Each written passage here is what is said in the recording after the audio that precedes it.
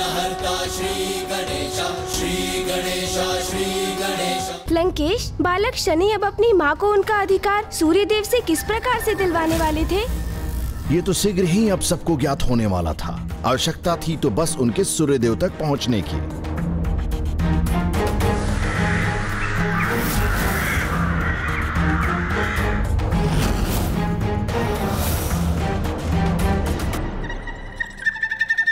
आप सभी देवताओं का कोटि कोटि धन्यवाद कि आप मेरे यशस्वी पुत्र यम के अष्ट दिक्पालों में से एक दक्षिण दिशा के दिक्पाल के पद पर स्थापित होने के समारोह में पधारे।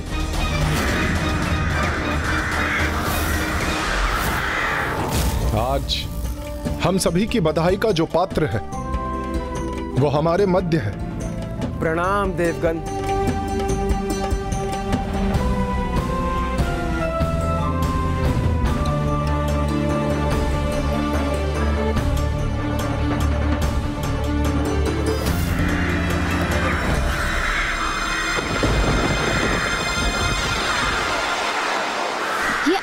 स्याह काग यहाँ क्यों प्रवेश कर रहे हैं?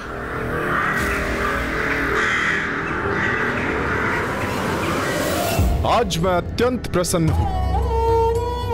मुझे गर्व है अपने पुत्र यम पर, क्योंकि आज से वो ही जीवों के कर्मों का लेखा चोखा रखेगा। वो ही निर्धारित करेगा कि कौन सी जीव आत्मा अपने कर्मों के अनुसार नरक जाएगी अथवा कौन सी स्वर्ग के सुख भोगने की अधिकारी बनेगी। और उसकी, इस उपलब्धि का कारण तो उसकी माता द्वारा दी गई शिक्षा दीक्षा ही है।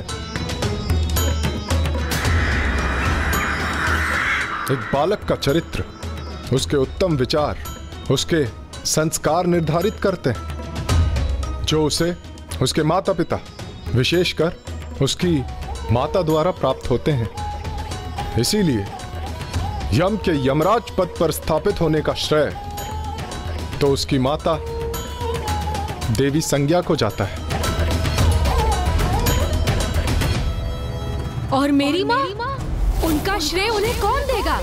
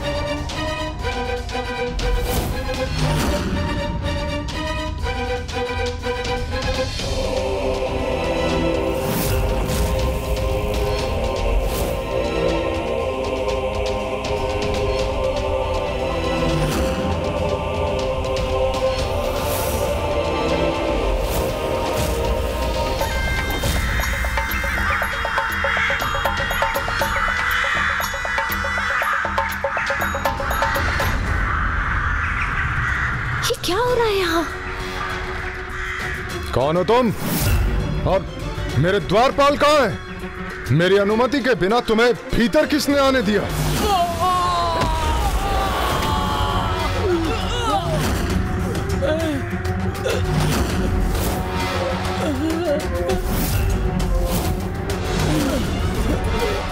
उन्होंने नहीं आने दिया। मैं तो स्वयं ही भीतर चला आया।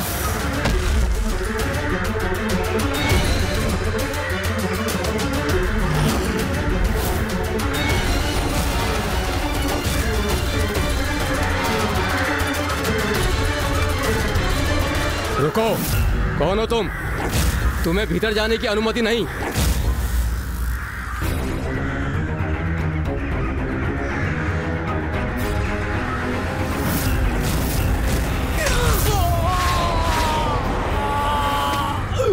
वैसे भी इनका रोकना मुझे अनुचित था क्योंकि यहाँ तो मेरा भी अधिकार है। अधिकार? कैसा अधिकार? कौन हो तुम दृष्ट बालक? और ऐसा दुस्साहस कैसे किया तुमने?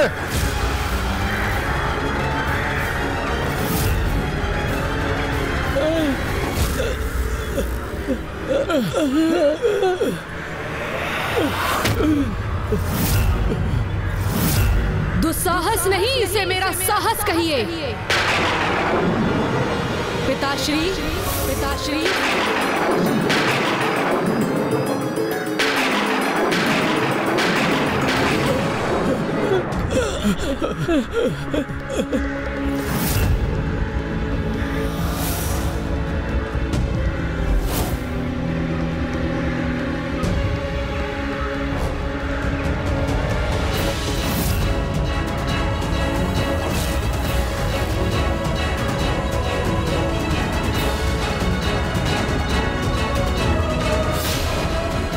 मैं छाया पुत्र शनि। अपनी माता का अधिकार और उनका श्रेय उन्हें दिलाने आया हूँ।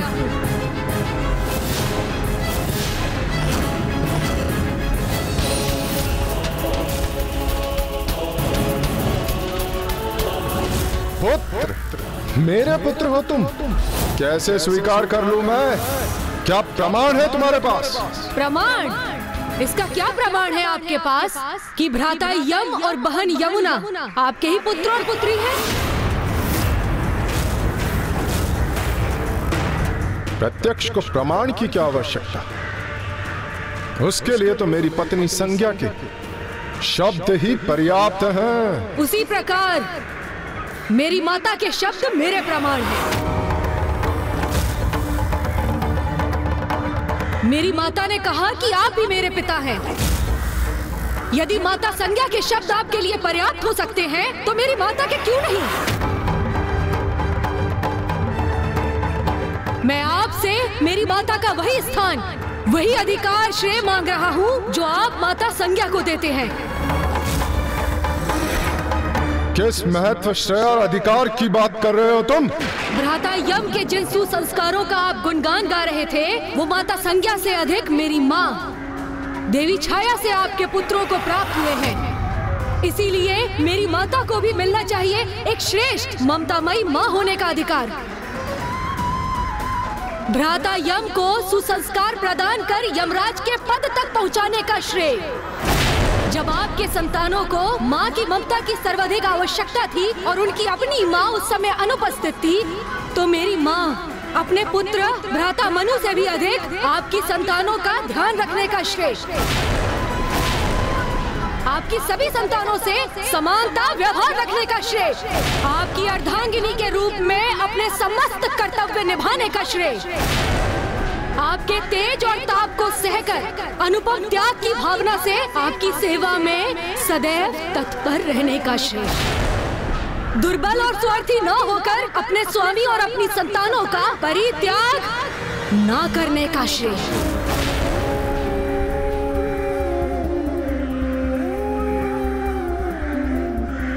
इसीलिए वास्तव में जिन्होंने कर्तांगिनी और माँ का कर्तव्य निभाया, उनका उचित अधिकार उनका स्थान आपके गृह में प्रदान करवाने आया हूँ मैं। आपकी अर्धांगिनी के रूप में उन्हें स्वीकार करवाने आया हूँ मैं।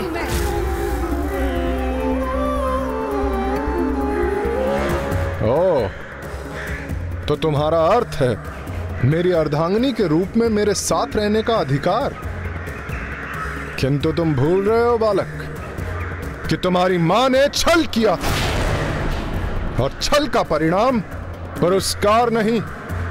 दंड होता है दंड होता है दंड होता है,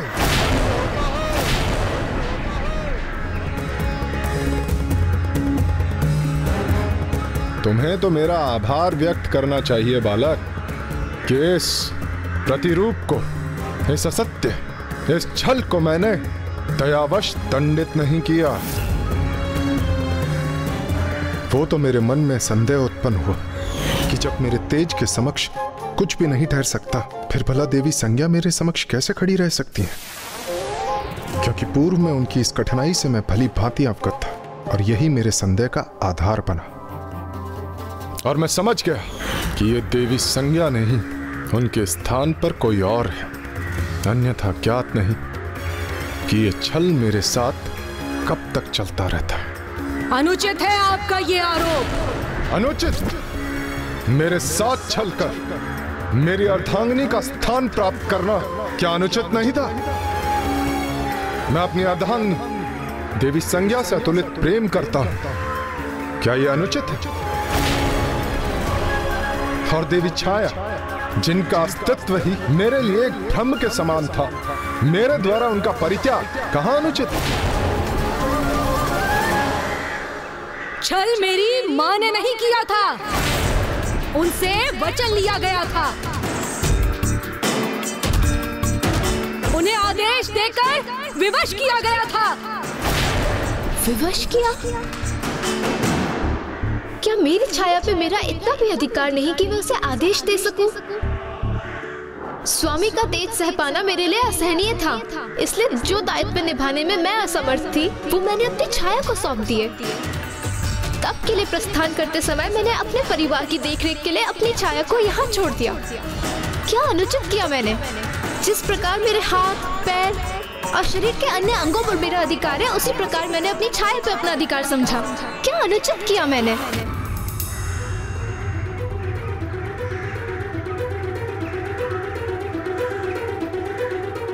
अब आप दोनों ही बताइए मुझे। मेरी माँ, जिनके तिरस्कार और अपमान की पीड़ा उनके नेत्रों से अश्रु धारा बनकर प्रवाहित हो रही है, वो आपकी दोषी कैसे हुई?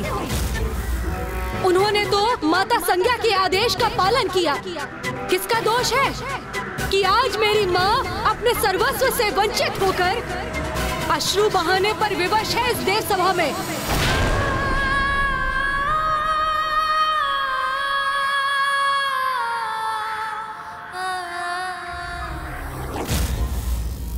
कैसी विचित्र परिस्थिति थी जहाँ सभी अपने अपने स्थान पर उचित प्रतीत हो रहे थे। फिर क्या हुआ लंकेश? बालक शनि अपने हट पर स्थिर थे। अपनी माँ को उनका अधिकार दिलाने के लिए किसी भी सीमा तक जाने के लिए तत्पर थे। बस अब और कुछ नहीं कहना सुनना मुझे। मेरी माँ ने जो सुकर्म किए आपके लिए। आपके लिए और आपकी संतानों के लिए। उन्हीं सुकर्मों के अनुसार मेरी माँ का आपके ग्रह में, आपके जीवन में वही अधिकार है जो माता संज्ञा का है। आपकी अर्धांगिनी और आपकी संतानों की माँ होने का अधिकार। बस यही अधिकार चाहिए मुझे।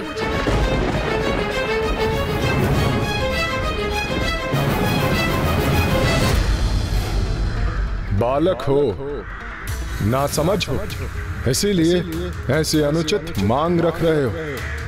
किंतु मैं विवश हूँ।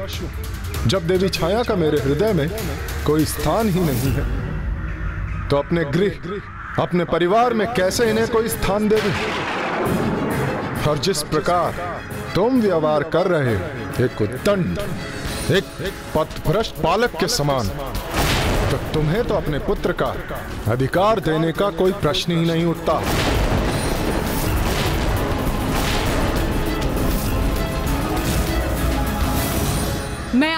अपना कोई अधिकार कहाँ मांग रहा हूँ? मैं आपसे अपनी माँ का अधिकार मांग रहा हूँ। जो आपको देना ही होगा।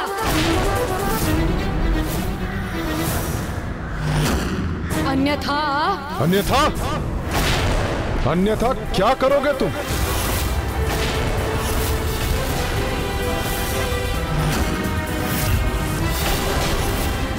एक बालक हो। बालक के समान बात करो। मुझे चेतावनी देने का दुस्साहस कर रहे हो? मेरे तेज का, मेरे ताप का अनुमान भी है तुम्हें? यदि अनुमान होता भी तो आपसे भयभीत नहीं होता।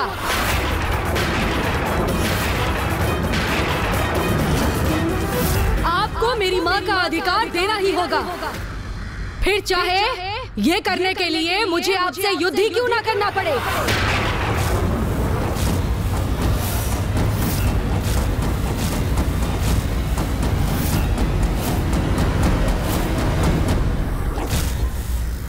यदि एक बार मैं ये स्वीकार भी कर लूँ कि आप मेरी अर्धांगिनी हैं और ये ये मेरा पुत्र है तो आप ही बताइए कि एक पुत्र का अपने पिता से ऐसा उद्दंड व्यवहार करना क्या उचित है? क्या यही संस्कार दिए हैं आपने इसे? अपने आप को मेरा पुत्र भी कहता है और मुझसे युद्ध करने के लिए मुझे चुनौती भी दे रहा है। अपने पिता को चुनौती देकर अपने अधिकारों की मांग करना क्या उचित? है शनि मेरे पुत्र अब हमें यहाँ एक क्षण भी नहीं रुकना चाहिए। मुझे यहाँ किसी से कोई अधिकार नहीं चाहिए। ऐसा मत कहिए माँ। इन्हें आपको आपका अधिकार देना ही होगा। अपनी माँ की आज्ञा का पालन करना भी नहीं सीखा तुमने? दंड बालक उनकी आज्ञा सुनो और चले जाओ यहाँ से। मैं अपनी माँ को उनका शनि जो अधिकार हमें बिना मांगे प्राप्त होना चाहिए उसे छीन कर लेने का क्या अर्थ? किंतु माता चलो पुत्र हम यहाँ एक क्षण नहीं रुकेंगे और ना ही किसी से कुछ मांगेंगे। चलो।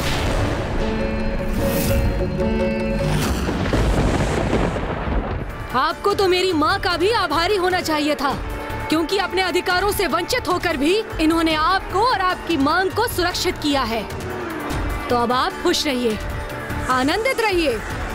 आप, आपकी ये संतान, आपकी अर्धांगिनी, ये समस्त देवगण और आपके मित्र और आपकी ये देव सभा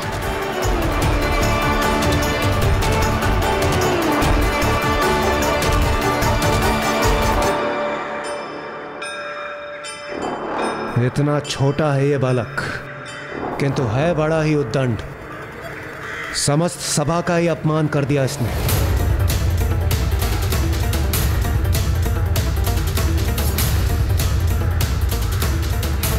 मैं आपसे अपनी माँ का अधिकार मांग रहा हूँ जो आपको देना ही होगा। अन्यथा रुको।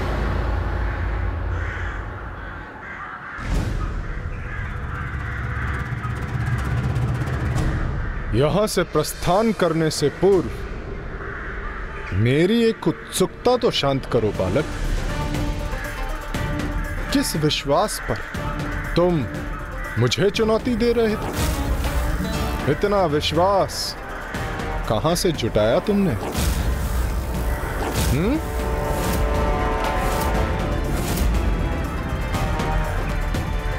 यदि तुम्हारी माँ ने तुम्हें नहीं रोका होता तो क्या करने में सक्षम थे तुम चलो वो करके दिखा। अब मैं तुम्हें चुनौती देता हूँ। मैं तुम्हें चुनौती देता हूँ। तुम्हें चुनौती देता हूँ।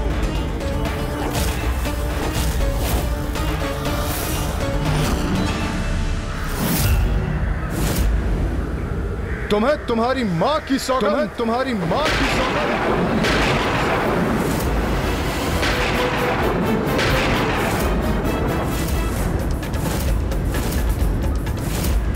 अपनी शक्ति, जिसके बल पर इतने ऊँचे बोल बोल रहे थे, उसका परिचय दो।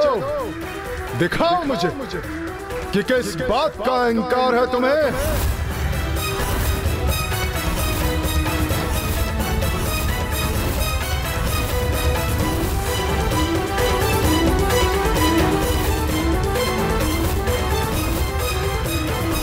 इन्होंने मुझे आपकी सौगंध से बाँध दिया है, माता। इसीलिए अब आप मुझे मत रोकिए।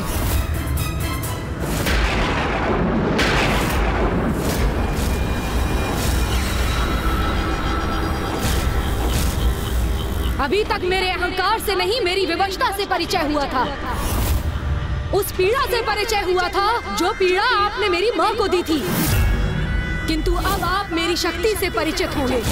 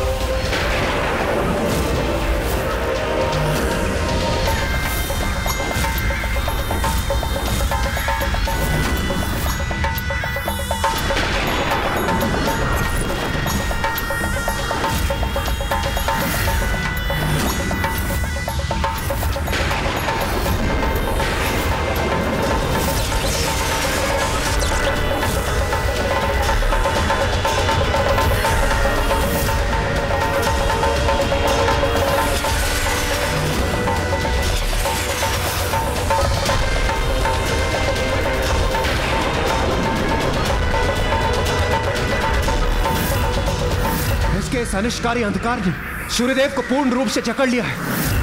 हमें इसे रोकना ही होगा। अन्यथा सूर्यदेव के लुप्त होने से बहुत बड़ा अनर्थ हो जाएगा। समस्त सृष्टि का विनाश हो जाएगा।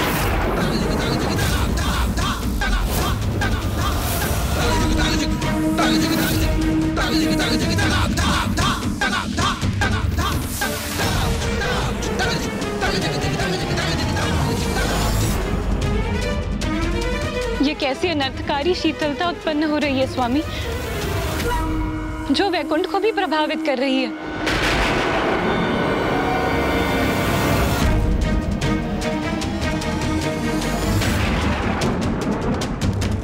ये कैसा अनिष्ट हो रहा है, प्रभु?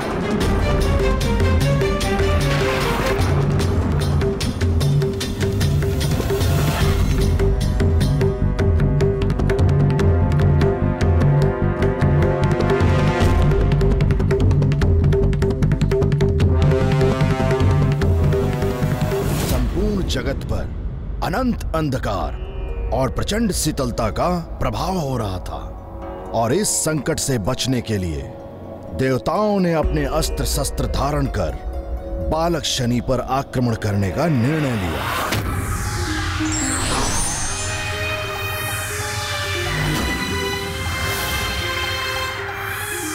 अब सभी अत्यंत शक्तिशाली देवता बालक शनि पर अपने प्रचंड अस्त्रों का लक्ष्य साधे उन्हें घेरे खड़े थे।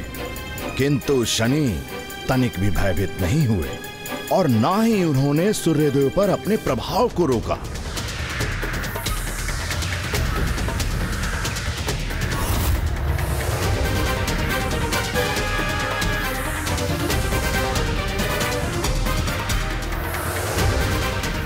बालक, अभी रुक जाओ। अन्यथा अपनी इस उद्दंडता का परिणाम भुगतने के लिए तैयार हो जाओ। ये मेरी प्रथम और अंतिम चेतावनी है तुम्हें। तुम जो भी कर रहे हो वो सर्वथा अनुचित है अनर्थकारी है। इसी क्षण रोक दो उसे।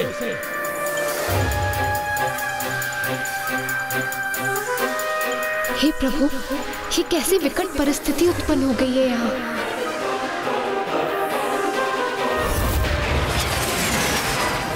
स्वामी तो निरंतर ही स्याह होते जा रहे हैं। ये कैसा अनिष्ट है। प्रतीत होता है, इस बालक पर हमारी चेतावनी का कोई प्रभाव नहीं पड़ रहा। देवगन, अब हमें इसे रोकना ही होगा।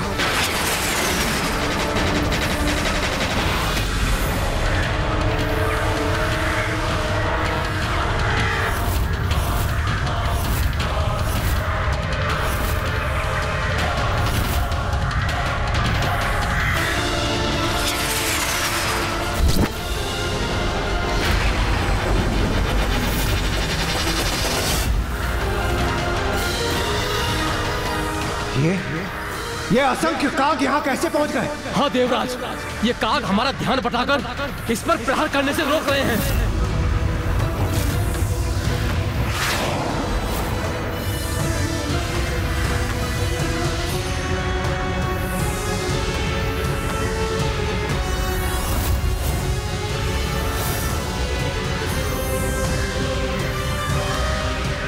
भले ही हम इन का को क्षति न पहुँचाए किंतु अपनी शक्ति का इस्तेमाल करके हम इन्हें कहीं दूर भेज सकते हैं।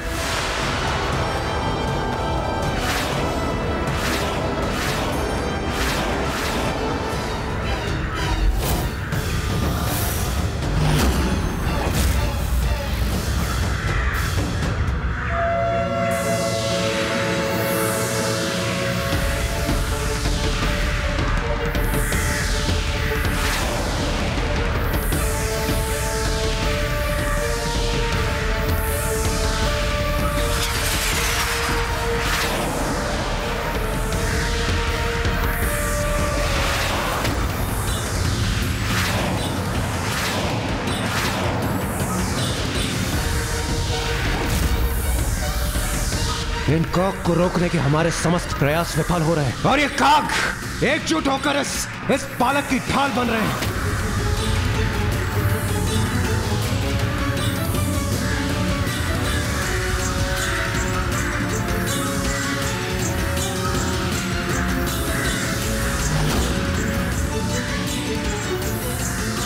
शीघ्र कुछ कीजिए देवगण। स्वामी को अंधकार में लुप्त होने से रोकिए।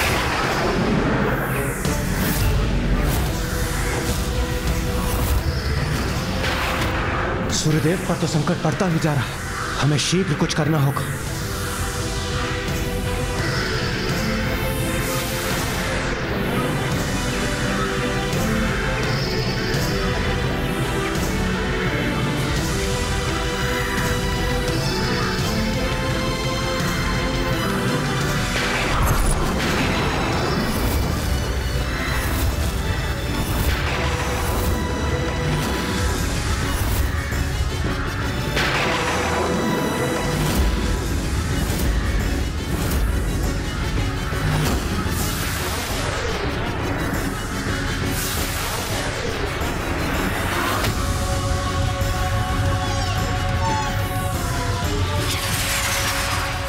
हे, बालक। रुक जाओ रोक दो अपने इस अंधकारी प्रहार को। रोक दो। अन्यथा यह भीषण शीत संपूर्ण सृष्टि के विनाश का कारण बनेगी।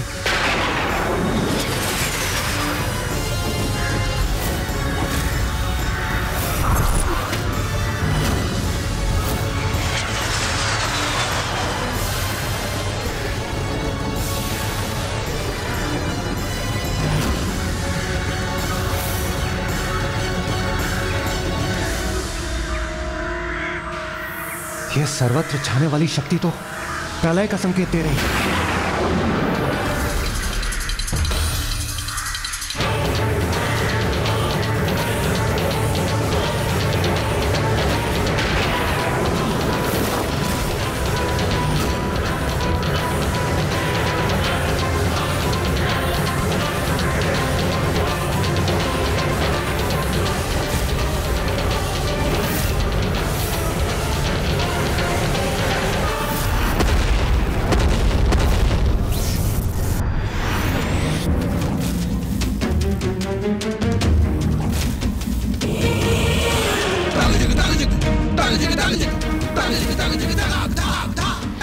स्वामी, ये शीत तो सर्वत्र विनाश करेगी।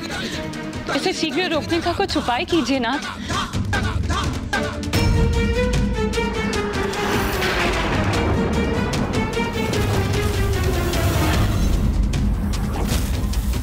इस भयंकर शीत के प्रभाव से अब कैलाश भी अछूता नहीं।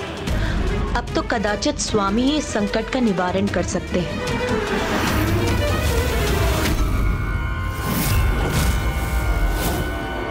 इसके पूर्व की और विलंब हो जाए, सर्वत्र सर्वनाश हो जाए। किसी भी तरह इस बालक को रोकना ही होगा।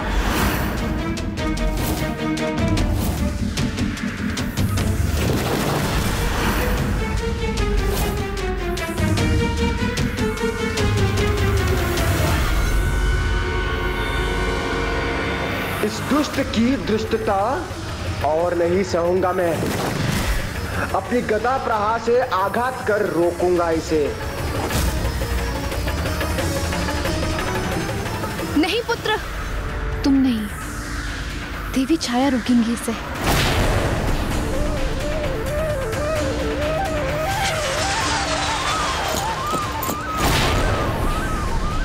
देवी छाया, आप अपने नेत्रों के समक्ष अनुचित घटित होते हुए कैसे देख सकती हैं? रोकिए अपने पुत्र को। आदेश दीजिए उसे कि मुक्त करे स्वामी को अपने प्रभाव से। और वैसे भी, ये संघर्ष हमारा है। हमारे अधिकारों का संघर्ष, इसमें स्वामी और उनके साथ समस्त संसार को अंधकार में धकेलने का क्या लाभ? ऐसे शांत, स्थिर मत रहिए देवी। कुछ कीजिए देवी, कुछ कीजिए। उचित कह रही देवी संज्ञा। व्यक्तिगत अधिकारों के संघर्ष में इतना बड़ा सर्वनाश तो सर्वथा अनुचित है।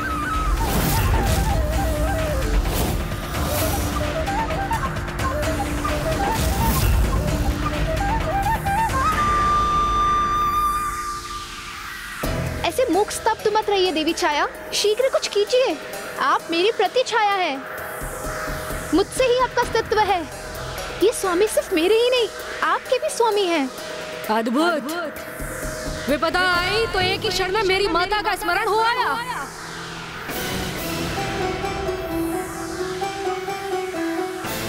विपदा आई तो आपने ये भी स्वीकार कर लिया कि मेरे पिता सूर्यदेव हैं।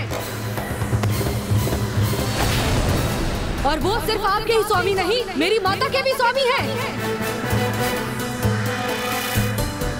तो फिर इतने समय तक माँ के इस अधिकार को क्यों नकारती आई आप?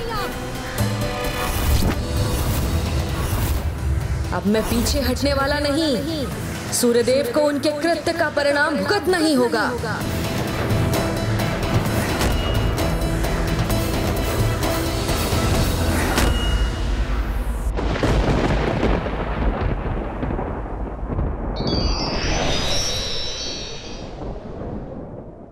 समय रहते यदि व्यक्ति अपनी भूलों पर विचार कर ले तो फिर बाद में उसे पछताना नहीं पड़ता। प्रभु माँ की पीड़ा मुझसे नहीं सही जाती। सूर्यदेव ऐसे प्रतापी मातृभक्त पुत्र को उनको उनके अधिकार देने से नकार रहे हैं आप। मुझे क्षमा कर दीजिए मुझसे बहुत बड़ी भूल हो गई। रुकिए रुकिए।